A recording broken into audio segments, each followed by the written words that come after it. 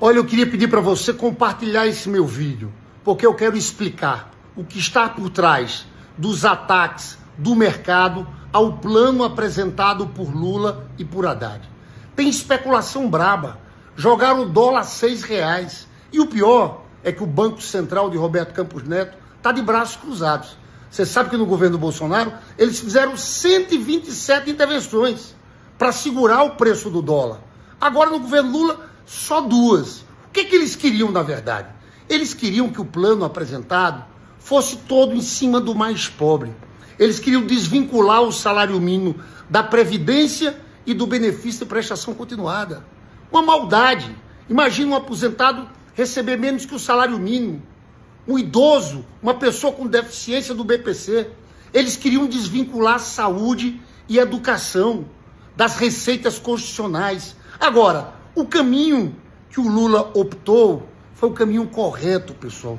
Primeiro, mexendo em privilégios dos militares. Você sabe que tem militar que se aposenta com menos de 50 anos.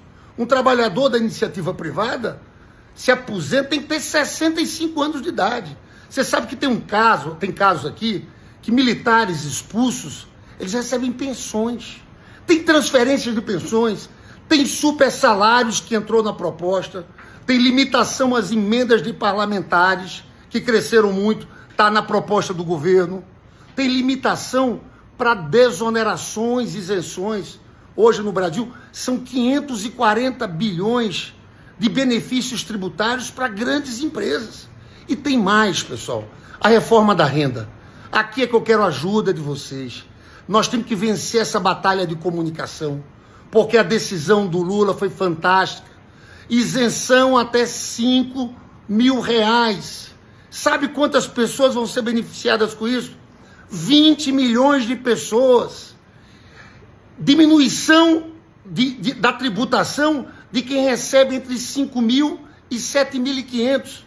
16 milhões de pessoas beneficiadas. Ao todo, 36 milhões. E como é que a gente vai compensar isso? Tributando mais 100 mil pessoas muito ricas que pagam muito pouco imposto.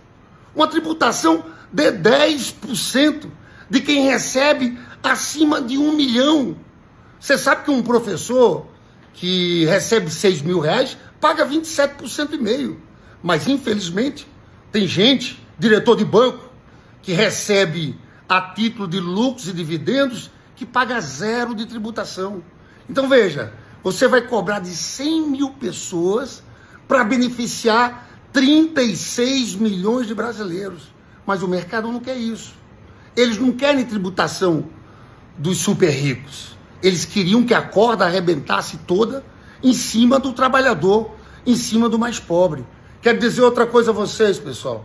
A gente manteve nessa política a valorização real do salário mínimo. Você sabe que em Temer e Bolsonaro não teve valorização real do salário mínimo. Aqui foi mantido. Todo ano vai ter valorização real do salário mínimo.